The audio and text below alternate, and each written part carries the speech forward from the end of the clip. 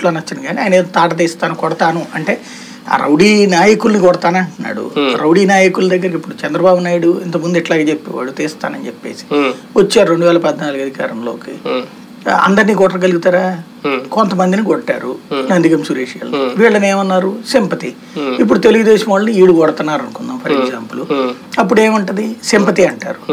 Rowdyism ఫ్యాక్షనిజము ఇట్లాంటి వాటిట్లను control చేయాలి అంటే ఒక మనం అట్లాంటి నాయకుల్ని ప్రోత్సహించకూడదు. సింపుల్ లాజిక్ అది. అది చేస్తే అలా మా దగ్గర ఉన్న వాళ్ళందరూ మంచి నాయకులు వేరే నాయకుల్ని పోలీసులతో ఏ ఒక్కడిని తిరగనీయను.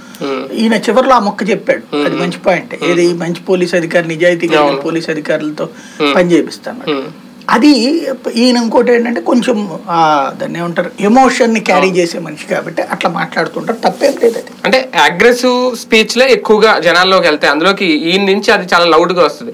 ఈయన దృష్టిలో మీరు అన్నట్టు రౌడీ షీటర్లు వీళ్ళందరినీ లోపల వేస్తే తప్పేం లేదు. దాన్ని అందరూ హర్షిస్తారు తప్ప ఎవరు వ్యతిరేక కాయల చౌతలు పడేసినా తప్పేం లేదు. కానీ ఈయన దృష్టిలో వైసీపీ నేతలే రౌడీలు. రౌడీలు అంటే వైసీపీ నాయకులు అన్నట్టే ఉంది.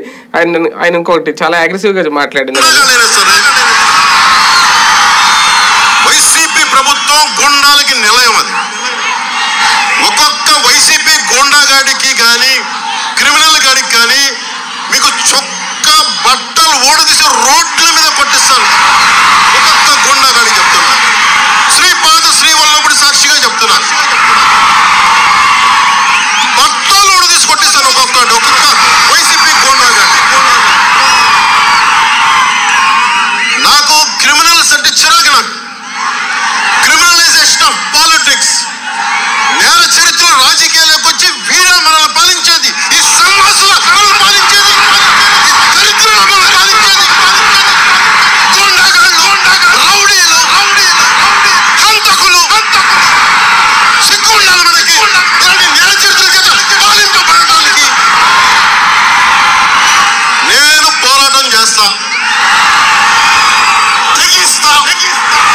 ఈ తెగిస్తా ఆవేశంలో జనాలు కూడా తిట్టేస్తున్నారు. మనకు సిగ్గుండాలి.